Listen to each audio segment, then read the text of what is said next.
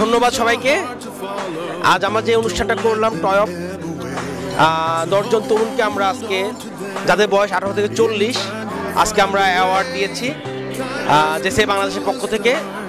জেসে বাংলাদেশ প্রতি বছর এই অ্যাওয়ার্ডটি প্রদান করে এবং বাংলাদেশে যারা যেসব তরুণ, যারা স্ব ক্ষেত্রে নিজের কর্ম কর্ম দ্বারা দেশের এবং সমাজে উন্নয়ন করছে এবং দেশের জন্য কিছু করছে, তাদেরকে আমরা সেই অ্যাওয়ার্ডটি দিয়ে থাকি।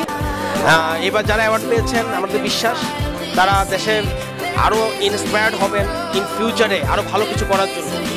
আর এই অ্যাওয়ার্ডের কারণে যারা এখনও কিছু করছেন দেশের জন্য, তারা আরও মোটিভেটেড হবেন ভালো কিছু করার জন্য। আমরা তরুণদেরকে অলওয়েজ বলি, সবসময় বলি যে আমরা দেশ থেকে অনেক নিয়েছি, নিচ্ছি, আমাদেরকে দেওয়ার আছে, দিতে হবে। আমরা সরকারের জন্য বসে থাকব না, আমরা নিজেরাই করব এবং আমরা দেশকে দিয়ে যাব।